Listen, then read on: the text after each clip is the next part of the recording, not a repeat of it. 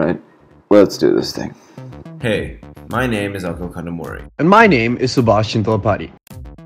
We were introduced to 1M1B around August last year while working as interns at a company called Seafog. Seafog at the time was working on Aquafog, a product focused on improving the shrimp industry. Both of us are from Bhimavaram, a village in the coastal part of Andhra Pradesh, one of the largest shrimp producing regions in India. The fact that we were working with a company that immersed us in details of shrimp culture, along with the fact that we had strong emotional connection to Bhimavaram and its people, encouraged us to do something to benefit the shrimp industry.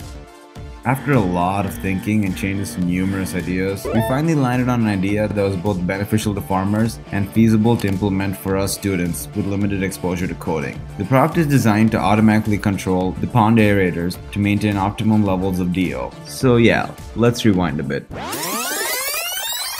There are a few important factors to keep in mind when maintaining the health of shrimp, like dissolved oxygen levels, temperature, and the type and amount of feed.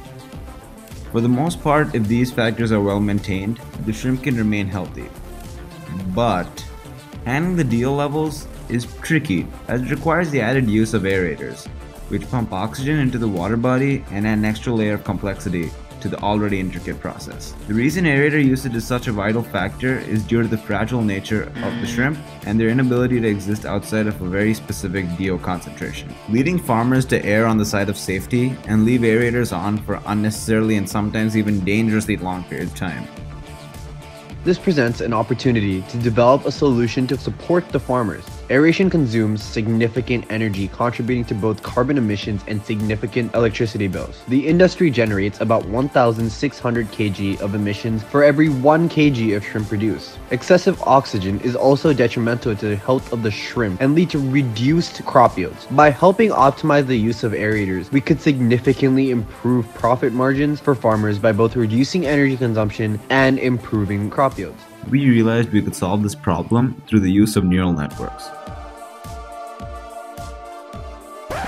We use data like temperature and wind speed from third-party sources along with DO data collected in-house by Seafog to train this network to predict DO levels. It's important to use predicted DO levels as sensors are notoriously hard to maintain and can even report anomalous data. In this case, the predicted data can ensure the aerators never turn on or off at an inopportune moment.